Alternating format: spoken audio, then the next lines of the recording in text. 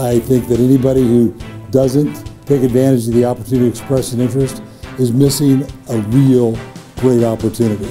So remember, I'm not asking you to commit. I'm just asking you to wave your hand and say, I'm interested in the possibility of being invited to the deal room. And we've got a raised hand. We've got another raised hand. Raise that, another raised hand. Oh, we got another one. Thank you very much. I've already raised my hand. My hand uh, on behalf of Wrazel is up. We are in and we are going forward with you. We believe in you. We believe in the company. We believe in your leadership, your product, your patents,